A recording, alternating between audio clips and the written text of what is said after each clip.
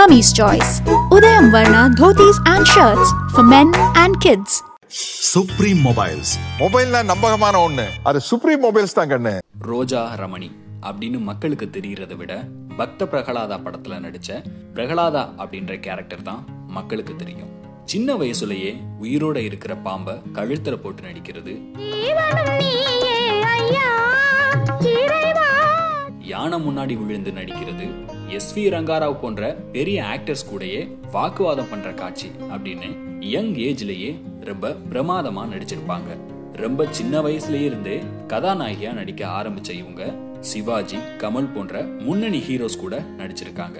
அது மட்டும் இல்லாம டப்பிங் ஆர்டிஸ்டா நிறைய ஹீரோயின்ஸ்க்கு டப்பிங்கும் பண்ணியிருக்காங்க இவங்க எப்படி திறமையான நடிகையோ அதே மாதிரி தான் இவங்களோட மகனும். தான் நடிச்ச முதல் படமான அஞ்சலின்ற படத்திலேயே தேசிய விருது வாங்கினாரு.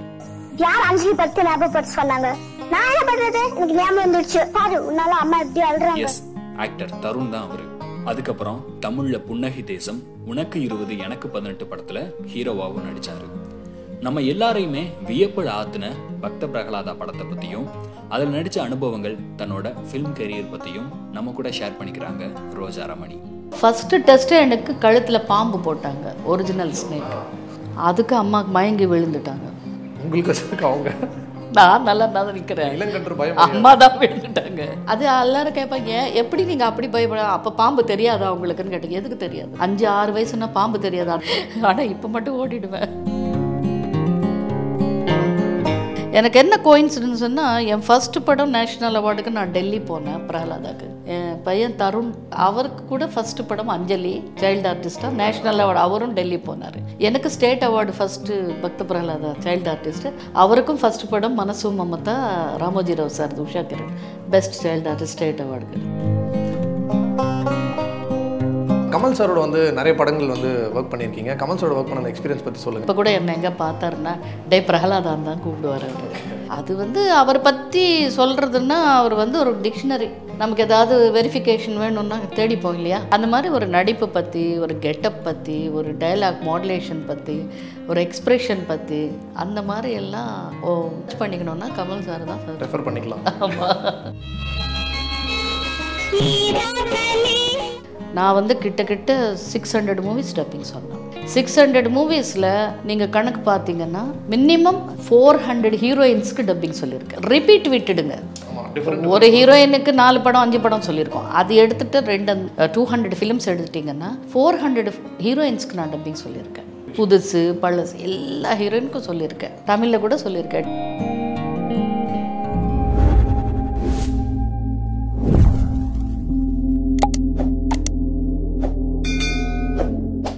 இந்தியா கிளிச் நேயர்கள் எல்லாருக்கும் ஒரு பெரிய வணக்கம். நான் உதய். ஸோ இன்றைக்கி நம்ம ஷோவில் நம்ம யார் கூட பேச போகிறோம் அப்படின்னு பார்த்தீங்கன்னா இன்றைக்கி தான் வந்து பேன் இந்தியன் ரிலீஸ் அதெல்லாம் வந்து பேசிகிட்டு இருக்கோம். ஆனால் மேம் வந்து அப்போவே பேன் இந்தியன் ரிலீஸ்னு சொல்லிட்டு அஞ்சு லாங்குவேஜ் ஆறு லாங்குவேஜில் வந்து நடிச்சிருக்காங்க.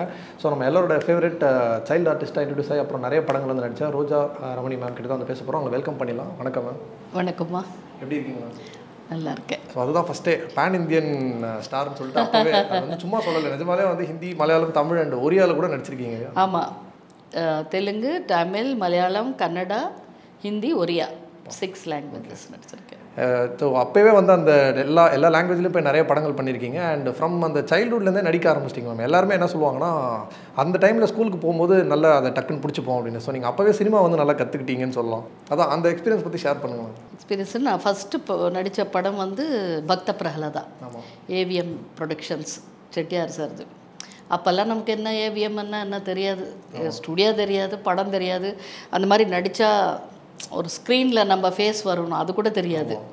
ஸோ அது ஒரு தற்செயலாக நான் நாங்கள் சென்னை வந்து எங்கள் அப்பா நல்லா படிச்சிருக்காரு பிஏ படிச்சிருக்காரு. அவருக்கு இந்த நைன் to சிக்ஸ் வேலையெல்லாம் பண்ணுறது பிடிக்காது. அப்படியே உட்காந்து ஆஃபீஸில் உட்காந்து எழுதுறது. அப்போல்லாம் கம்ப்யூட்டர்ஸ் எல்லாம் இல்லைல்ல. எழு எழுதுறது அதெல்லாம் பிடிக்காது. ஆனால் அவருக்கு வந்து ரொம்ப அவருக்கு எங்கள் பா தாத்தா பாட்டிக்கு வந்து ஒரே பையன் அவர். ரொம்ப செல்லம் அவர். அதனால அவருக்கு இந்த வேலை பண்ணணும்னு பிடிக்காது. ஏதாவது ஃப்ரீலான்சராக ஒரு ஜாலியாக வேலை பண்ணணும்னு. அப்புறம் யா- ஆமா. யாரோ ஃப்ரெண்டு சொன்னாங்களா நீங்கள் சென்னை போயிடுங்க. நல்ல ஒரு ஏதாவது ஒரு ஃப்ரீலான்சராக வேலை கிடைக்கும். இங்கெல்லாம் ஆஃபீஸில் உட்காந்து காலையிலேருந்து ஆறு மணி வரைக்கும் வேலை பண்ணணும். அப்படி சொன்ன உடனே அவர் சென்னை வந்துட்டார். எங்கள் அம்மா வந்து நான் அப்போ நான் தான் டெலிவரி அம்மா பாட்டி வீட்டுக்கு போனாங்க. அவர் வந்துட்டு அப்படியே யார் யாரோ கொஞ்சம் ஃப்ரெண்ட்ஸ் பண்ணி அப்படி இப்படி பண்ணி ஒரு ஜிவிஜி சாருன்னு ஒருத்தர் நிறைய நல்ல ஜேர்னலிஸ்ட் அவர் பெரிய ஜேர்னலிஸ்ட் அப்போவே பெரிய இது. அவர் வந்து இந்த பிக்சர் போஸ்ட்னு ஒரு புக் இருந்தது. த தமிழில் வந்து பேசும் படம். பேசும் ஓகே தெலுங்கில் வந்து சினிமா ரங்கம். ஓகே. அவருக்கு அப்பாவுக்கு தமிழ் தெரியாது. இங்கிலீஷ் நல்ல பிஏ படிச்சிருக்காரு இல்லையா? இங்கிலீஷ் தெரியும். தெலுங்கு மதர் டேங் அதில் வந்து இவருக்கு ஒரு ஃப்ரீலான்சராக வாங்கி கொடுத்தாரு. இந்த இந்த இங்கிலீஷ்ல எல்லாம் எழுதுறது அது தெலுங்கு நல்லா எழுதுறது அப்படி ஒரு ஜாலியாக வேலை பண்ணிட்டு இருந்தார். அப்புறம் வந்து நான் சிக்ஸ் மந்த்ஸ் பேபியாக இருக்கிறச்ச கூட்டிகிட்டு வந்துட்டாங்க அம்மாவையும் அண்ணையும் எனக்கு ஒரு தம்பி இருந்தான் சின்ன பையன். அப்புறம் வந்த பிறகு. நாங்கள் ரெண்டு பேர் இங்கே எங்கள் அக்கா அண்ணா வந்து பா தாத்தா பாட்டிக்கிட்ட இருந்துட்டாங்க. ஸோ இவங்க இந்த நான் வந்த ஒரு த்ரீ ஃபோர் இயர்ஸ்க்கு அப்புறம் தம்பி ஒரு சின்ன பையன் நாங்கள் எல்லாம் வெளியே விளையாடுவோம் ஈவினிங் ஒரு ஒரு ஒரு பத்து பன்னெண்டு பசங்க. எல்லாம் ஒரு செவன் எயிட் ஃபைவ் சிக்ஸ். ஸ்கூலில் சேர்த்து எல்லா கா கிளாஸும் வரும். அந்த மாதிரி ஒரு கு கும்பல் இருந்தது. இந்த விளையாடிட்டு இருக்கும்போது ஒரு வண்டி வந்தது அங்கே. இந்த ப்ளூ கலர் ஒரு வேன் வந்தது. வேன் வந்து பசங்களை எல்லாம் அதில் ஏற்றி விட்டுட்டாங்க. என்னையும் ஏற்றி விட்டாங்க. என்னையும் ஏற்றி விட்டுட்டு தெரியாது. என்ன வேணே தெரியும் வாங்க வாங்க வாங்கன்னு சொல்கிறாங்க எல்லாரும் ஏறிட்டோம். அவர் இந்த ஒரு ஒரு பையன் இருந்தான் அதில். அதாவது ஒரு பென்னு புக்கு வச்சுக்கிட்டு பேர் ஒன்றுன்னா பேர் கேட்குறான் ஸ்கூலில் கேட்குற மாதிரி. நான் என் பேர் சொன்னேன். ஒரிஜினல் நேம் ரோஜா ரமணி தான். அம்மா வச்ச பேர். ரோஜா ரமணி சொன்னோன்னா ஐயோ அவன் பேர் கிடையாது நீ இறங்கிடுன்னு சொன்னார்.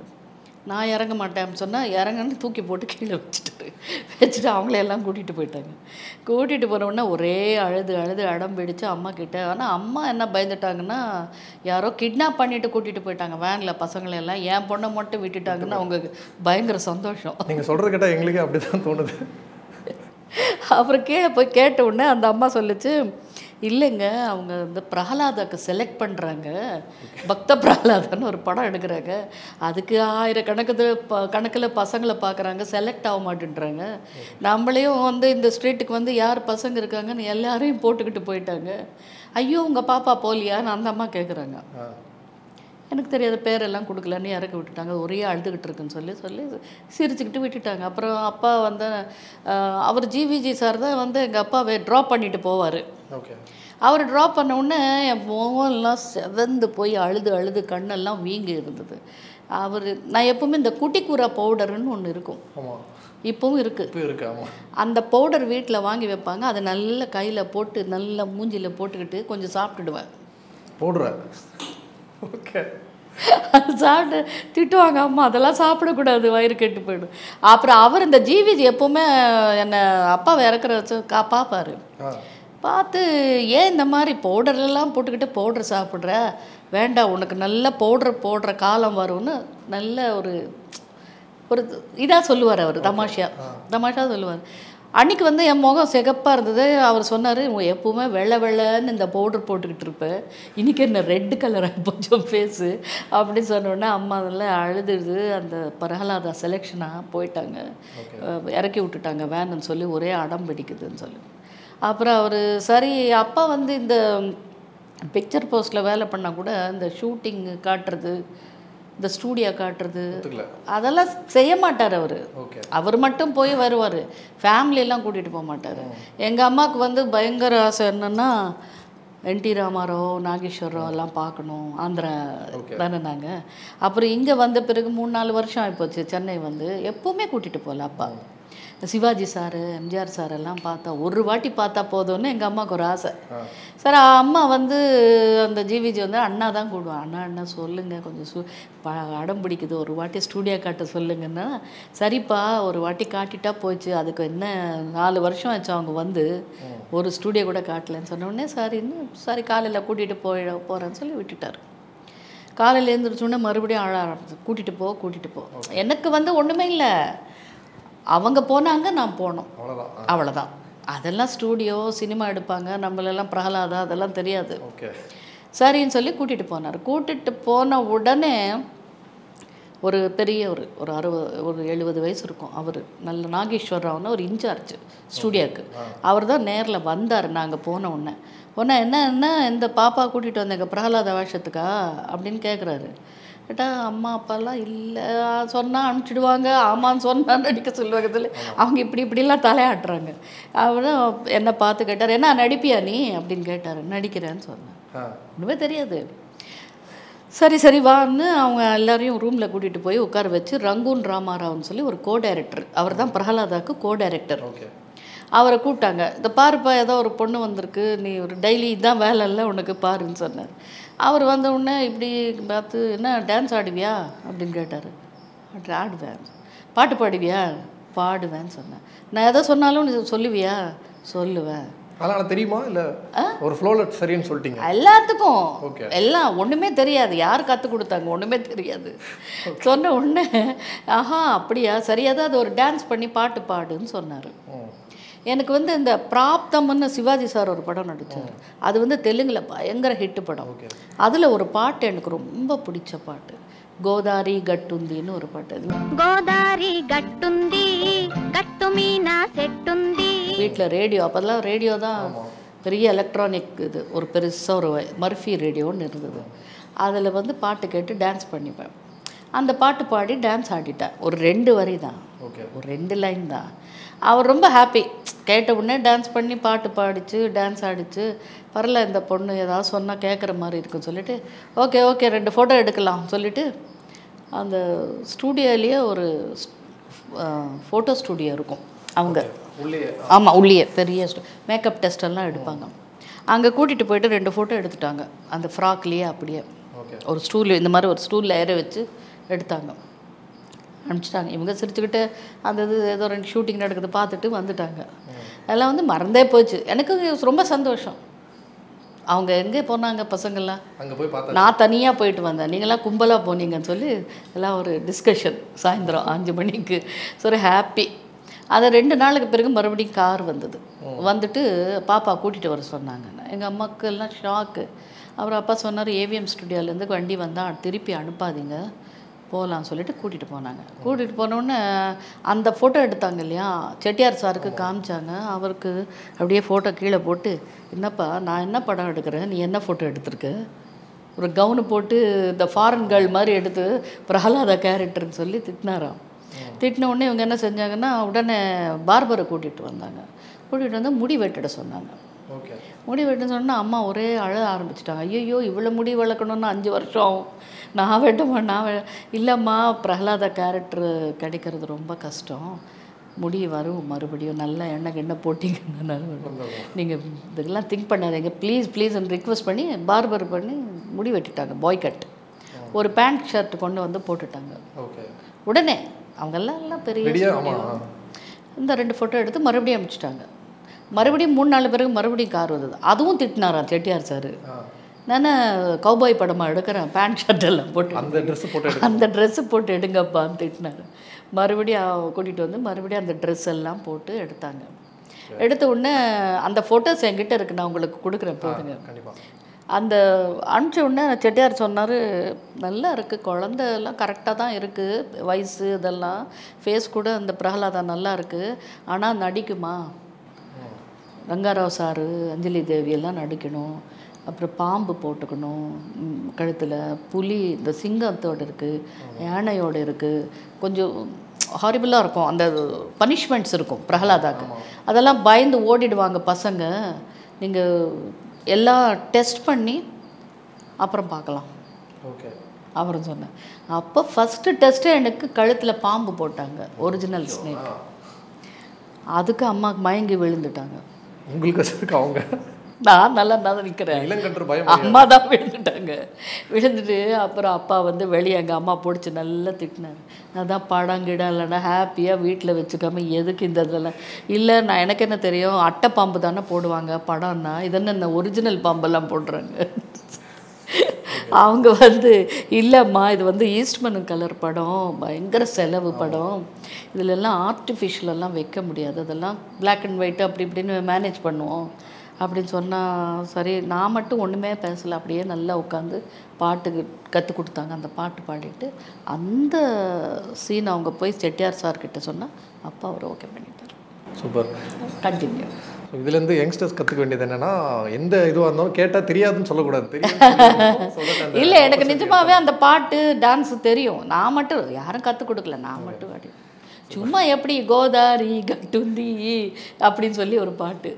நைஸ் அண்ட் அதுக்கப்புறம் வந்து நிறைய படங்கள் வந்து பண்ணியிருக்கீங்க. ஆனாலும் டப்பிங் வந்து ஒரு ஃபோர் ஹண்ட்ரட் ப்ளஸ் மூவிஸ் வந்து டப் மட்டும் பண்ணியிருக்கீங்க. நிறைய பேரோட வாய்ஸஸ்க்கு அண்ட் ஊர்வஷி மேம் ராதா நிறைய பேருக்கு பண்ணியிருக்கீங்க. அண்ட் அதுக்கும் நிறைய அவார்டு வாங்கியிருக்கீங்க. உங்களுக்கு எது கம்ஃபர்டபுளாக இருக்கும் ஆக்டிங்கா இல்லை டப்பிங்கா இல்லை அப்படி இல்லை. அப்புறம் நான் வந்து ஏவிஎம் ப்ரொடக்ஷனில் டூ இயர்ஸ் எக்ரிமெண்ட் இருந்தது. அதே பக்த பிரகலாதா தெலுங்கு பெரிய பயங்கர ஹிட்டு அந்த படத்துக்கு நான் டெல்லி நேஷ்னல் அவார்டு அப்போ சர்வேப்பள்ளி ராதாகிருஷ்ணா தான் பிரசிடெண்ட் அவர்கிட்ட போய் வாங்கினேன் அதுக்கு ஸ்டேட் அவார்டு நிறைய அவார்ட்ஸ் கிடைச்சிருக்கு. படம் கூட பயங்கர ஹிட்டு. அவங்க எக்ரிமெண்ட் முடிஞ்ச பிறகு தெலுங்கு தமிழ் ஹிந்தி மூணு லாங்குவேஜ் நான் தான். ஓகே.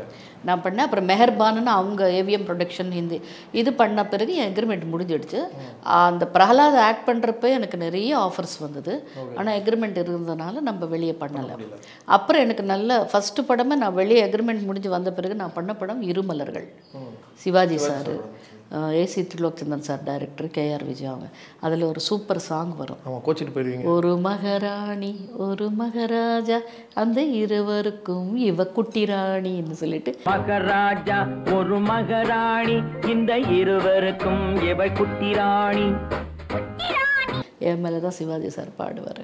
அப்புறம் என் தம்பி எதிரொலி எங்க மாமா நிறைய படம் நடிச்சிருக்கேன். சிவாஜி சாரோடைய எட்டு படம் நான் ஒன்பது படம் நடிச்சிருக்கேன். விளையாட்டு பிள்ளை சங்கிலி அதெல்லாம் நடிச்சிருக்கேன்.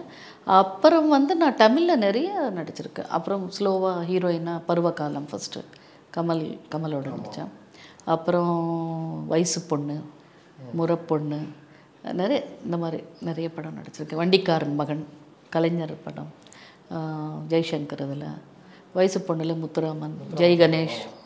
நிறைய படம் நடிச்சிருக்கேன் இப்போ சிவாஜி சார்லாம் வந்துட்டு எல்லாருமே ஒரு ஒரு எல்லா ஒரு ஆர்டிஸ்ட்டுமே ஒரு பயம் இருக்கும். ஐயோ ஒரு பெரிய ஆக்டர் சூப்பராக நடிப்பார். பட் நீங்கள் வந்து சைல்டு ஆர்டிஸ்ட்னால உங்களுக்கு அந்த பயம் இருந்திருக்காது அவர் உங்களுக்கு கொடுத்த அப்ரிசியேஷன் என்ன?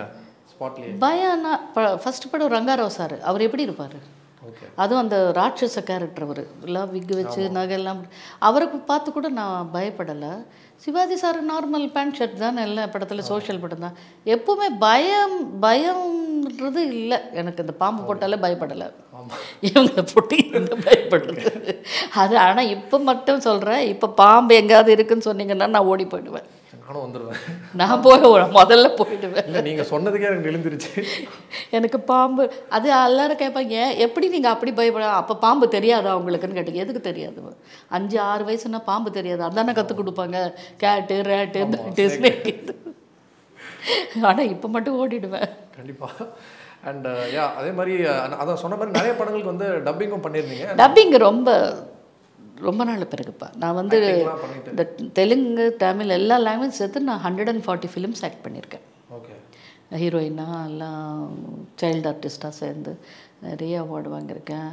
அப்புறம் எனக்கு வாழ்க்கையில் வந்து நல்ல ஒரு நல்ல ஆஃபர்ஸ் நல்ல நிறைய கே விஸ்வநாத் ஓசி தக்கதான் டைட்டில் ரோல் தாசரி நாராயண ராவ் அப்புறம் பாலு மகேந்திரா கோகிலா கன்னட பண்ணோம் கமல்ஹாசன் நான் சோபா மோகன் எல்லாம் நடித்தோம் பயங்கர ஹிட்டு கன்னடத்தில். அதே வந்து நாங்கள் தமிழ்நாட்டில் ரிலீஸ் பண்ணாங்க வெங்கடேஸ்வரன் சொல்லி அவர் பெரிய இது. அவ- அவர் ரிலீஸ் பண்ண படம் கன்னட படமே இங்கே நூறு நாள் ஓடி டப்பே பண்ணாமல் கன்னடாலே ஆ, அதுக்கு வந்து நேஷ்னல் அவார்டெல்லாம் வந்திருக்கு. நம்ம பாலு மகேந்திராக்கு. நல்ல செம்பருத்தி உங்களோட படம் செம்பருத்தி வந்து செம்பருத்தி தான் எனக்கு ஃபஸ்ட்டு மலையாளம் ஹீரோயின் எனக்கு தேர்ட்டீன் இயர்ஸ் அப்போ. அதுக்கே எனக்கு ஃபிலிம்ஃபேர் பெஸ்ட் ஆக்ட்ரஸ் வந்தது. எல்லாரும் எழுந்திரிச்சு கை தட்டினாங்க. அவ்வளோ சின்ன வயசுக்கெல்லாம் பெஸ்ட் ஆக்ட்ரஸ் கொடுக்கறது கஷ்டம். ஏதோ ஒரு சப்போர்ட்டிங் ரோல் அப்படி தான் வரும் அதில் வந்து அதுவும் பெரிய ஹிட் அந்த படம். எல்லா லாங்குவேஜ்லையும் ரீமேக்காக எல்லாத்துலேயுமே ஹிட் ஆயிடுச்சு. ஆமாம் எல்லா லாங்குவேஜும் ஹிட் அது. நல்ல நல்ல ஓடிச்சு. நல்ல பேர் வந்தது. எனக்கு என்ன கோயின்சிடன்ஸ்னா என் ஃபர்ஸ்ட் படம் நேஷ்னல் அவார்டுக்கு நான் டெல்லி போனேன் பிரகலாதாக்கு என் பையன் தருண் எங்கள் இது அவர் அவருக்கு கூட ஃபஸ்ட்டு படம் அஞ்சலி. சைல்டு ஆர்டிஸ்ட்டாக நேஷ்னல் அவார்டு அவரும் டெல்லி போனார். எனக்கு state award first Bhakta Prahlada child artist அவருக்கும் ஃபஸ்ட்டு படம் Manasu Mamata Ramoji Rao sir Usha Kiran. Best child artist state award கிடைச்சது. இந்த மாதிரி எல்லா கோயின்சிடென்ஸ் நான் வந்து ஒரு ஆறு வயசில் அஞ்சரை ஆறு வயசில் பிரகலாதா. அவருக்கு வந்து ஒரு ஏழு வயசில் அஞ்சலி நடித்தார் நான் ஹீரோயினா வந்து பதிமூணு வயசுல அந்த படம் நடித்தேன் செம்பருத்து. அவர் ஹீரோவா பதினஞ்சு வயசுல நடிச்சாரு. நான் அதை கேட்கலான்னு வந்தேன். நிறைய கோயின்சிடன்ஸ் இருக்கு. நிறைய கோயின்சிடன்ஸ் அவருக்கு ஆக்ட் பண்ணும்போது நீங்க ஏதாவது சொல்லி அமிச்சிங்களா? ஒரு ஏதாவது சின்ன பையனா நடிக்கும் போது ஒன்றுமே சொல்லலை நல்ல கான்சன்ட்ரேஷனாக இருக்கணும் டெடிகேஷனாக இருக்கணும் இருக்கணும். டைமிங் பஞ்சாலிட்டி அது டைம் பஞ்சாலிட்டி கரெக்டாக நம்ம ஏழு மணிக்கு ஷூட்டிங் ஒன்பது மணிக்குன்னா ஒரு ஒரு அரை மணி நேரம் முன்னாடியே இருக்கணும் நம்ம. அந்த மாதிரி தான் சொல்கிறது தவிர வேற ஒன்றும் இல்லை. வேற எதுவும் ஆக்டிங் டிப்ஸ் எல்லாம் இல்லை இல்லை. இல்லை மணிரத்னம் சார் தானே ஃபஸ்ட்டு படம். அது அவருக்கு நம்ம என்ன சொல்லி அனுப்புறது? அண்ட் இப்போ தருண் வந்துமே எங்களுக்கு தமிழ்ல வந்து ரொம்ப ஒரு ஃபேவரட்டான ஒரு ஆக்டர் நடிச்சாரு. ரெண்டு மூணு படம் நிறைய நல்லாவே எங்களுக்கு ரீச் ஆச்சு நல்லா பண்ணோம். பட் ஏன் அதுக்கப்புறம் தமிழ்ல வந்து ஒரு தமிழில் வந்து என்னமோ அவர் ஒர்க் அவுட் அப்புறம் பெரிய ஆஃபர்ஸ் வரல. தெலுங்கில் நல்லா பிஸி ஆயிட்டாரு. நல்ல நிறைய படம் அவருக்கு அங்கே ஹைட்டு நல்ல ஹைட்டு ஓகே இருந்தாலும் தமிழ்ல வி மிஸ் மேம் ஏன்னா நல்ல ஏதாவது ஒரு நல்ல ஆஃபர் வந்ததுன்னா நடிப்பார். கண்டிப்பா. ஏன்னா தமிழ் கூட வந்துட்டு தமிழ் கூட நல்லா பேசுவார் அவர். கொஞ்சம் சின்ன வயசுல இங்கே தானே வளர்ந்து படிச்சதெல்லாம் இங்கே தானே அண்ட் அவருக்கு வந்து கொஞ்சம் அந்த சினிமா கரியரில் அவருக்கு ஒரு ஸ்ட்ரகிள்ஸ்லாம் இருந்தது. எல்லா ஆக்டருக்கும் இருக்க மாதிரி அந்த ஸ்ட்ரகிள்ஸ் ஒரு பீரியட் வரும். அப்படி வரும்போது ஆஸ் அ மாம் நீங்கள் அவருக்கு என்ன அட்வைஸ்லாம் கொடுத்தீங்க? எல்லா பசங்களை எப்படி நம்ம இது பண்ணுவோமோ அப்படி தான் எல்லார் வீட்லேயும் அம்மா எல்லாம் எப்படி பண்ணுவாங்க?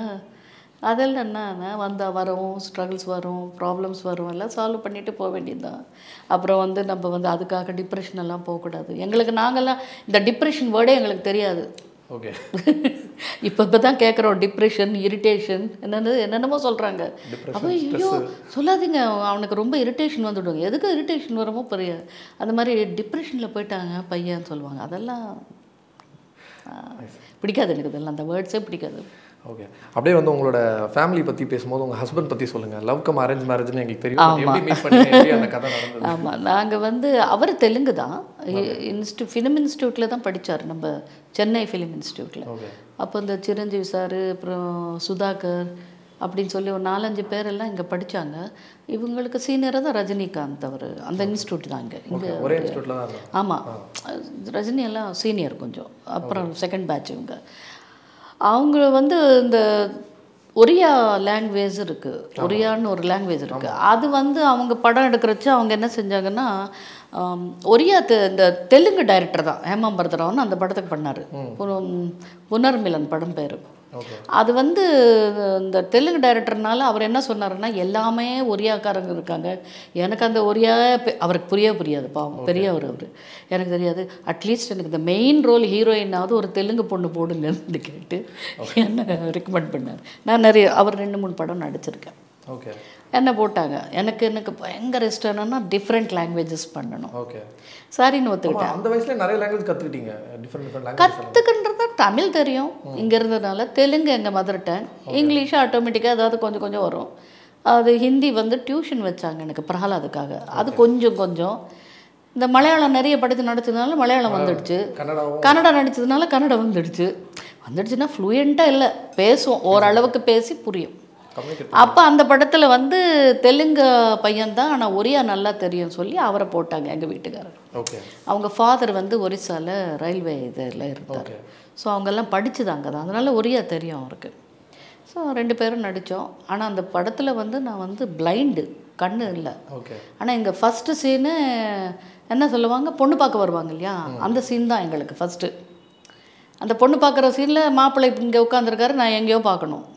கண்ணு ஓகே முதல் சீனே அப்படி ஆரம்பிச்சிருக்கேன் பிளைண்ட் கேரக்டரு அப்புறம் அதில் இருந்து இந்த தெலுங்கு பையன் தான் இன்ஸ்டியூட்டில் படித்தார் அப்படின்னு சக்கரபாணின்னு இன்ட்ரடியூஸ் பண்ணி விட்டாங்க. அவ்வளோதான் அப்புறம் ரெண்டு படம் நடித்தோம் இன்னொரு படம் நடித்தோம் அது லவ் ஸ்டோரி ஓகே அது முடிஞ்சது. அப்புறம் சத்யானுசுயான்னு ஒரு படம் நடித்தோம் அது பயங்கர ஹிட்டு அப்புறம் சீதா லவகுசான்னு சீதன்னு நான் சீதா அவர் ராமர். ஓகே அந்த படத்தில் நடித்தோம் அப்போவே சீதாராமம் ஆமாம் அந்த படத்தில் சீதாராம் வந்து பிரிஞ்சிடுவாங்க. ஓகே ஒரிஜினலாக நாங்கள் சேர்ந்துட்டோம். ஸோ அதான் கமல் சாரோட வந்து நிறைய படங்கள் வந்து ஒர்க் பண்ணியிருக்கீங்க. கமல் சாரோட ஒர்க் பண்ண அந்த எக்ஸ்பீரியன்ஸ் பற்றி சொல்லுங்கள் அவர் எப்படி ஸ்பாட்டில் அவரோட நடந்த ஏதோ ஒரு நல்ல மெமரிஸ் கமல் சார் வந்து அவரும் ஏவிஎம்மில் களத்தூர் கண்ணம்மா தான் ஃபஸ்ட்டு ஏவிஎம் மூலமாக வந்தார். நானும் ஏவிஎம் ப்ரொடக்ஷன்ஸ் பக்த பிரகலாத் இப்போ கூட என்னை எங்கே பார்த்தாருன்னா டே பிரகலாதான் தான் கூப்பிடுவார் அவர். ஆமாம் அப்புறம் பிகினிங் டேஸில் கொஞ்ச நாள் பிறகு நாங்கள் ரெண்டு பேரும் சேர்ந்து ஃபஸ்ட்டு நடித்த படம் வந்து பருவகாலம் தான்.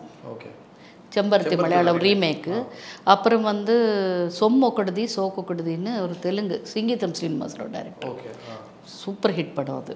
அதுவும் நடித்தோம் அப்புறம் ஐவி சசி டைரக்ஷன் மலையாளத்தில் வந்து ஆனந்தம் பரமானந்தம் அப்படின்னு ஒரு படம். மற்றொரு சீதான்னு அது ஒரு படம் மலையாளத்தில் நடித்தோம் முக்கியமாக வந்து இந்த கோகிலான்ற படம் நல்ல பயங்கர ஹிட்டு நான் அவர் கமல் சார் நடித்தோம் நாலு லாங்குவேஜில் நடித்தோம் ரெண்டு பேரும் சேர்ந்து. ரெண்டு பேரும் ஏவிஎம்லேருந்து வந்தவங்க. அது வந்து அவரை பற்றி சொல்கிறதுன்னா அவர் வந்து ஒரு டிக்ஷனரி நமக்கு ஏதாவது வெரிஃபிகேஷன் வேணும்னா தேடிப்போம் இல்லையா? அந்த மாதிரி இப்போ கூகுள் சர்ச் பண்ணுறாங்க டிக்ஷனரிலாம் மறந்துட்டாங்க.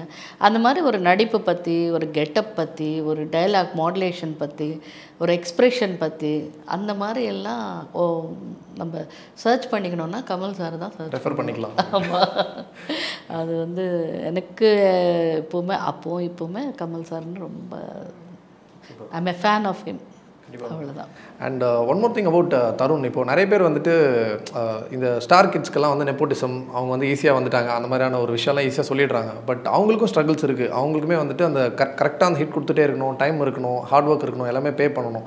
ஸோ அது நீங்கள் எப்படி பார்க்குறீங்க மேம் ஏன்னா இப்போ எல்லாருமே ஸ்ட்ரகிளே கிடையாதுங்க. தருண் வாழ்க்கையில் வந்து இப்போ நான் வந்து பிரகலாதில் என்ன ஸ்ட்ரகிள் இருக்குது ஏதோ அந்த ஸ்டூடியோக்கு போகணுன்னு ஒரு பிடிவாதம் பிடி அந்த ஒரு இன்சிடெண்ட்னால நான் வந்து எனக்கு ஒரு சான்ஸ் வந்தது. அது வந்து ஸ்ட்ரகிளாக நான் நினைக்கல. ஸ்ட்ரகிள்னா ஸ்ட்ரகிள்னா எப்படின்னா நம்ம ஆக்டிங் கற்றுக்கிட்டு நம்ம ஆஃபீஸ் ஆஃபீஸாக போயிட்டு கேரக்டர் வேணும் ஃபோட்டோஸ் எல்லாம் எடுத்து ஷூட் பண்ணி கொடுத்து எனக்கு இந்த சான்ஸ் கொடுங்க இல்லைன்னா ஒரு ஃப்ரெண்டு கேரக்டர் கொடுங்க ஒரு ஹீரோ அந்த மாதிரி ஸ்ட்ரகிள் தருண் தருண் ஃபஸ்ட்டு வந்து மணிரத்னம் சாரோட கோ டைரக்டர் பாணி தாத்தான்னு ஒரு இருந்தார். இது பாருங்க வாழ்க்கையில் எனக்கும் ஒரு கோ டைரக்டர்னால தான் எனக்கு அந்த சான்ஸ் வந்தது. இங்கேயும் பாணி தாத்தா கோ டைரக்டர் தான் பார்த்து அஞ்சலி படத்தில் வந்து தருண் நல்ல அந்த அழகாக நல்லா இருக்கான் அந்த பையனை ட்ரை பண்ணலாம் அப்படின்னு கேட்டால் அந்த நடிக்க மாட்டாங்கன்னு சொன்னேன் நான் ஃபஸ்ட்டு அவன்லாம் ஸ்கூலுக்கு போயிட்டுருக்கான் நடிக்க மாட்டானா ட்ரை பண்ணிக்கிறோன்னு சொன்னாங்க அவங்க. ஓகே அவ கூட்டிகிட்டு போனாங்க. அந்த கூட்டிகிட்டு போகிறப்ப கூட நான் போகல என் தம்பி பிரமோத் தான் கூட போனார். அந்த மாமான்னா ரொம்ப க்ளோஸ் அவனுக்கு. அவங்க அம்மா அந்த மா தம்பி கூட வெளியே தான் உட்காந்தாரு உள்ளே வந்து தருண் தான் போனார். மணிரத்னம் சார் ரூமுக்குள்ள அவங்க என்ன பேசுனாங்கன்னு இது வரைக்குமே எங்களுக்கு தெரியாது. வெளியே வந்து பா பாணி அவர் பாணி சார் சொன்னார். தருண் ஓகேம்மா அந்த டேட் எல்லாம் கொடுக்குறோம். சார் ஓகே சொல்லிட்டாருன்னு சொன்னாங்க. எப்படி ஓகே சொன்னார்? என்ன நடித்தார் ஏதாவது டைலாக் சொன்னால் ஒன்றுமே நாங்கள் கேட்கல அவங்களும் சொல்லலை. அந்த படம் அந்த படம் நடித்தது சூப்பர் ஹிட்டு நேஷ்னல் அவார்டு கிடைச்சிது. அதோட கண்டினியூவாக சைல்டு ஆர்டிஸ்ட்டாக அவரும் ஒரு இருபது படம் பண்ணார். நல்லா சூப்பர் ஃபிலிம்ஸ் பண்ணார். என் மாதிரியே நல்ல நல்ல படம் பண்ணார். அப்புறம் கொஞ்சம் கேப் வந்தது. அந்த கேப் வந்த உடனே நுவ்வே காவாலின்னு ஒரு படம் வந்தது. ஒரு fifteen fourteen years boy character அது ஹீரோவா அது ஒன் இயர் ஓடிச்சு அந்த படம். அது அப்படியே அது வந்து ஸ்ட்ரகிள்னு சொல்ல முடியாது. ஏன் வந்து நீங்கள் அதுக்கப்புறம் நடிக்கிறது வந்து கொஞ்சம் ஸ்டாப் பண்ணிட்டீங்க? இல்லை ஸ்டாப் பண்ணலை. ஆக்சுவலாக மேரேஜ் வந்து மேரேஜ் நடக்கிற டைமில் எனக்கு ஒரு எட்டு படம் கையில் இருந்தது. Okay I was very busy okay ஏன்னா டிஃப்ரெண்ட் லாங்குவேஜஸ் இல்லையா? அதனால் பிஸியாக இருந்தேன் அப்போது மேரேஜ் முடிஞ்ச உடனே ஆக்சுவலாக அந்த டைமில் மேரேஜ் கேட்டாங்கன்னா வீட்டில் அப்ஜெக்ட் பண்ணுவாங்க. இப்போ நல்ல டைம் பீக் டைமில் இப்போ தான் நீ ஹீரோயினாக வர்ற. நாலு ஆ வந்துடும். ஒரு ரெண்டு வருஷம் மூணு வருஷம் போட்டோம். ஏன்னா ஐம் டுவெண்ட்டி ஒன் அந்த ஒரு at least twenty four twenty five years வரைக்கும் நடி ஒரு இன்னும் ஒரு ஐம்பது நாற்பது படம் நடிக்கலாம். அப்புறம் பார்த்துக்கலாம் அப்படின்னு சொல்லுவாங்க. அங்கேயும் சொல்லுவாங்க இங்கேயும் இந்த வீட்லேயும் சொல்லுவாங்க. ரெண்டு வீட்லேயும் சொல்லலை. அவங்க என்ன மேரேஜ் சொன்ன உடனே ஓகே ஓகே அப்படின்னு சொல்லி நிச்சயதார்த்தம் பண்ணிட்டாங்க. ஓகே பண்ண உடனே என்ன செஞ்சோன்னா சரி கொஞ்ச நாள் கேப் கொடுக்கட்டுமே. சின்ன வயசுலேருந்து நடிக்கிறோம். எப்போ பார்த்தாலும் லைட்டு கேமரா இது அவுட்டோர் ஷூட்டிங் ஃப்ளைட்டில் ட்ரெயினில் காரில் travellings functions different different languages டைமே இல்லை. எங்கள் படம் நாங்களே டப்பிங் சொல்லிக்கணும். இது ஒரு நாள் கூட எனக்கு காலி இருக்காது. அந்த மாதிரி இருந்தது. ஸோ நான் மேரேஜ் பிறகு கொஞ்சம் அங்கங்கே ட்ராவல் பண்ணுவோம் இல்லையா? அங்கங்கே போவோம். சொந்தக்காரங்க வீட்டுக்கு போவோம். அங்கே போவோம். டின்னரு கின்னரு இந்த மாதிரி கொஞ்சம் என்ஜாய் பண்ணணும் அப்படின்னு சொல்லிட்டு கொஞ்சம் கேப் கொடுத்தோம். அப்போ பா தருண் பிறந்தாரு. அவரை வளர்த்து சரி பா பார்க்கலாம் ரெண்டு வருஷம் ஆகட்டும் பையன் ஸ்கூலுக்கு போட்டோம் அப்படி இப்படின்னு கேப் வந்துடுச்சு. அப்படியே எனக்கு சடனாக எனக்கு ஒரு டப்பிங் சான்ஸ் வந்தது. ஓகே அது நான் டைம் பாஸ்க்கு தான் ஸ்டார்ட் பண்ணேன் நிஜமா. ஆனால் அது சொல்லணும் கிட்டத்தட்ட ஆக்டிங் பண்ணுற மாதிரி தான் ஃபுல்லாக நம்ம அதே மாதிரி ரொம்ப கஷ்டங்க. ஆக்டிங் தான் ஈஸி கொஞ்சம். டப்பிங் வந்து கஷ்டம். டப்பிங் வந்து இன்னொருத்தர் இப்போ நீங்கள் நடிக்கிற மாதிரி நான் சொல்லணும்.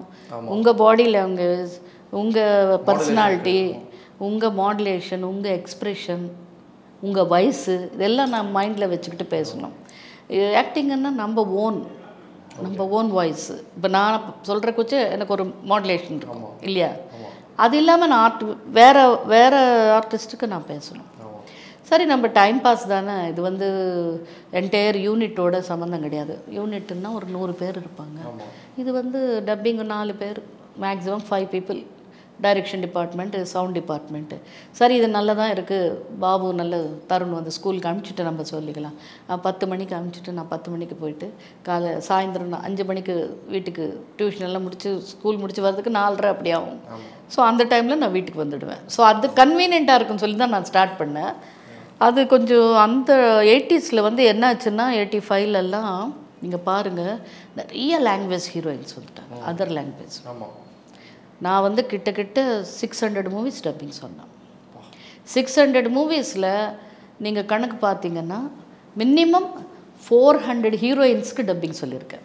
ரிப்பீட் விட்டுடுங்க.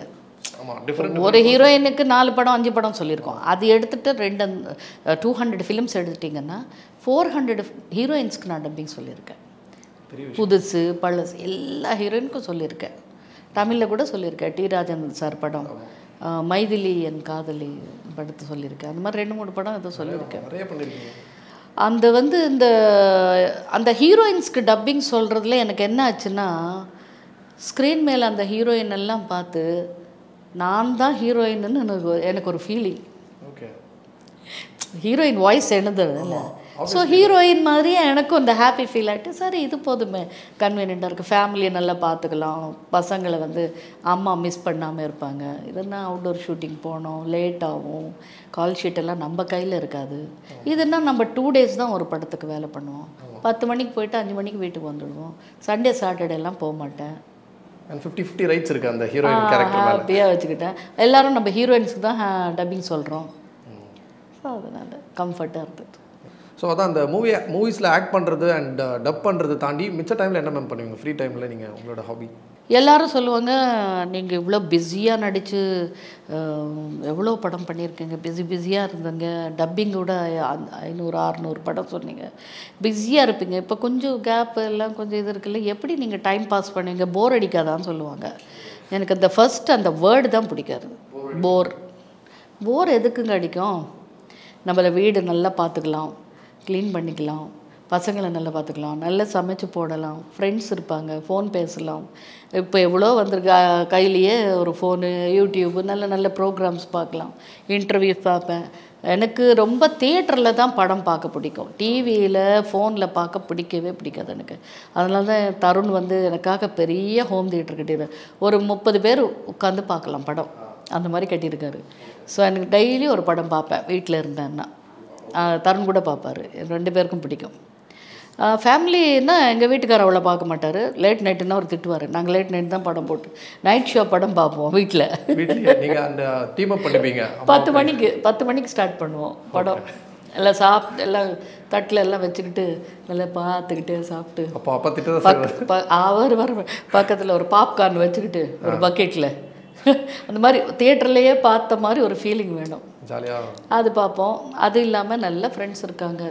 எனக்கு வந்து ஃப்ரெண்ட்ஸ் வந்து காமனாக இந்த கிட்டி பார்ட்டி அப்படி இப்படி அந்த மாதிரி ஃப்ரெண்ட்ஸ் கிடையாது. இல்லை சோஷியல் சர்வீஸ் ஃப்ரெண்ட்ஸ் இருக்காங்க. இந்த ஹியூமனுக்கு பண்ணுறது அனிமல்ஸ்க்கு பண்ணுறது ரொம்ப நீங்கள் அதுலேயுமே ஒரு blue cross am animal lover blue cross member எல்லாமே இருக்குது அனிமல்ஸ் எங்கேங்கிறத அங்கே நான் மெம்பராக இருப்பேன். ஓகே So, அது ஏதாவது wounded இந்த அடிப்பட்ட இதெல்லாம் அதெல்லாம் வந்து நல்ல ஹெல்ப் பண்ணுவோம். கொஞ்சம் மெடிக்கல் இது கொடுப்போம். அப்புறம் நல்ல பாட்டு கேட்பேன் நல்ல புஸ்தகம் படிப்பேன். எனக்கு டுவெண்ட்டி ஃபோர் ஹவர்ஸ் பிடிக்காது. இன்னும் ஒரு ரெண்டு ஹவர் இருந்தால் இவ்வளோ நல்லா இருக்கும் என் ஃப்ரெண்ட்ஸ் சில பேர் இருக்காங்க. ஐயோ போர் அடிக்குதுங்க போர் அடிக்குதுங்க. இதெல்லாம் சொல்லுவேன். இதெல்லாம் சொல்லுவேன். இது வந்து சொல்லும்போது சைலண்ட் ஆகிடுவாங்க நீங்கள் அதான் ஆக்கியபைடாக வச்சுக்கிறீங்க. ஏதாவது ஒன்று பண்ணிகிட்டே இருந்தேன்னா அப்புறம் வந்து நான் இந்த படத்துக்கெல்லாம் ஜூரி நிறைய பண்ணியிருக்கேன். இன்டர்நேஷ்னல் சைல்டு சில்ட்ரன்ஸ் ஃபெஸ்டிவலுக்கு அதுக்கு ஜூரி பண்ணியிருக்கேன். நேஷ்னல் அவார்ட்ஸ்க்கு பண்ணியிருக்கேன் ஃபிலிம் ஃபேர் பண்ணியிருக்கேன் பண்ணியிருக்கேன். ஸ்டேட் அவார்ட்ஸ்க்கு பண்ணியிருக்கேன் state award TV best serials அதெல்லாம் வரும் இல்லையா? அதுக்கு பண்ணியிருக்கேன் ஜீ டிவிக்கு பண்ணியிருக்கேன் இந்த மாதிரி ஜூரி நிறைய பார்ப்பேன் அது கூட எதுக்கு பிடிக்கும்னா படம் பார்க்கலாம். அங்கே போய் ஒரு படம் பார்த்துடலாம். அது எனக்கு ரொம்ப பிடிக்கும். பயங்கரமான மூவி லவராக இருப்பீங்க ரொம்ப ரொம்பங்க. எல்லா லாங்குவேஜும் பார்ப்பேன். நைஸ் அண்ட் ஃபைனலி உங்களோட செலிபிரிட்டி ஃப்ரெண்ட்ஸ் எல்லாம் வந்துட்டு இப்போ உங்களோட உங்கள் பேட்ச்லேயே இன்ட்ரடியூஸ் ஆனவங்க உங்க கூட இருந்தவங்களாம் இப்போ அவங்களாம் எப்போ வந்து மீட் பண்ணீங்க? லாஸ்ட்டாக எப்போ பேசுனீங்க? யாரெல்லாம் மீட் பண்ணீங்க? இல்லை நான் வந்து ஒரு கான்செப்ட் ஒன்று யோசித்தேன் ரீயூனியன் சொல்லி இந்த காலேஜ் பசங்கள்லாம் ரீயூனியன் ஆகிறாங்க ஆஃபீஸர்ஸ் எல்லாம் ஆகிறாங்க அப்புறம் பழைய படித்த காலேஜ் சின்ன வயசில் படித்தவங்கெல்லாம் ரீயூனியன் கிட்டத்தட்ட ஏடிஸ் அப்படின்னு சொல்லிட்டு கூட ஆர்டிஸ்ட் எல்லாம் ரீயூனியன் ஆகிறாங்க ஏன் நம்ம வந்து சின்ன வயசில் நடித்த சைல்டு ஆர்டிஸ்ட் எல்லாம் ரீயூனியன் ஆகக்கூடாது? ஓகே அப்படின்னு ஒரு தாட் வந்தது. வந்து நான் ரொம்ப கஷ்டப்பட்டேன். ஏன்னா அவங்க வந்து லைம் லைட்டில் சில பேர் இல்லை. இதுலேயே இல்லை. இவங்க அவங்க டச்சே இல்லாமல் இருக்காங்க. சில பேர். ஓகே சில பேர் இருக்காங்க. ஆனால் அவங்கள எல்லாம் டச் பண்ண பட் கிட்டத்தட்ட முப்பது நாற்பது வருஷத்துக்கு முன்னே நடித்த பசங்க. இவங்கெல்லாம் இப்போ சிக்ஸ்டி செவன்ட்டியில் இருக்காங்க. அவங்கள எல்லாம் காண்டாக்ட் பண்ணுறது நம்பர்ஸே இல்லை ஃபஸ்ட்டு தேடி கண்டுபிடிக்கிறது. ஒரு ஒன் அண்ட் ஆஃப் மந்த் பிடிச்சது எனக்கு. ஒரு பத்து நம்பர் கண்டுபிடிக்கிறதுக்கு.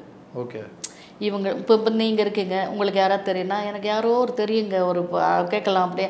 அந்த நம்பர் நீங்கள் கொடுக்கறதுக்கு ஒன் வீக்கு அங்கேருந்து அவங்கள பிடிக்கிறது ஒன் வீக்கு நம்ம இந்த மாதிரி பண்ணுறோம் சொல்லி அவங்கள அக்செப்ட் பண்ணுறது ஒன் வீக் அந்த மாதிரி one and half month try பண்ணி கிட்டக்கிட்ட ஒரு பத்து பேர் பிடிச்சிருக்கேன். பத்து பதினஞ்சு பேர் பிடிச்சிருக்கேன் அதில் மூணு பேர் வரல. ஒரு பத்து பேர் ரீயூனியன் மாதிரி நல்லா பண்ணோம். ரொம்ப ஹாப்பியாக இருந்தது. நிஜமா. அப்போ ஃபோன் பண்ணுறாங்க நாங்கள் மிஸ் ஆயிட்டோம் நாங்கள் மிஸ் ஆயிட்டோம். தேங்க்யூ நிறைய வந்துட்டு எங்களோட கேள்விகளுக்கெல்லாம் வந்து நிறைய சொன்னீங்க. நிறைய வந்து ஹிஸ்ட்ரி வந்து எங்களுக்கு பாஸ் ஆன் பண்ணிருக்கீங்க நிறைய கதைலாம் சொன்னீங்க. இன்னொன்று மறந்துட்டேன். எங்கள் வீட்டுக்கார் கூட பெரிய ஹீரோ ஒரிசாவில் சக்கரபாணி. ஒரு எல்லாமே இந்த மைத்தாலஜி சினிமாஸ் தான் நிறைய பண்ணார் அவர். இப்போ எங்களுக்கு இன்னொன்று கோயின்சிடென்ஸ்னா தருண் மாதிரி அவருக்கும் எனக்கும் லைஃப் டைம் அச்சீவ்மெண்ட் இது ஒரே வருஷத்தில் வந்தது. ஒரே டைம்ல அவருக்கு ஒரிசா லாங்குவேஜில் வந்தது எனக்கு தெலுங்கு லாங்குவேஜில் வந்தது. அது ஒரு நல்ல ஹாப்பி நியூஸ் எனக்கு. கண்டிப்பாக so thank you so much உங்களோட டைம் ஸ்பெண்ட் பண்ணி எங்களுக்கு இவ்வளோ நேரம் ஆன்சர் பண்ணதுக்கு. அண்ட் நீங்கள் பண்ணுற எல்லாமே வந்துட்டு உங்களுக்கு சக்ஸஸே தவறணும்னு சொல்லிட்டு இந்தியாவில் சர்வ வாழ்த்துக்கள் தெரிவிச்சுக்கிறோம். தேங்க்யூ ரொம்ப தேங்க்ஸ் உங்களுக்கு தான். ஏன்னா இந்த இந்தியா கிளிட்ஸ் அவர்களுக்கு நிஜமாக என் மனமார்ந்த நன்றி. ஏன்னா எங்கள் வந்து நாங்கள்லாம் இப்போ சினிமாவில் இல்லை அவ்வளவா. இருந்தால் கூட அந்த லைம்லைட்டில் இருந்தாலும் இருந்தாலும் எங்களை கூப்பிட்டு இவ்வளோ நல்ல ஒரு இன்டர்வியூ பண்ணி உங்களுக்கு ரொம்ப தேங்க்ஸ் அருமையாக கேள்வி கேட்டிருக்கீங்க.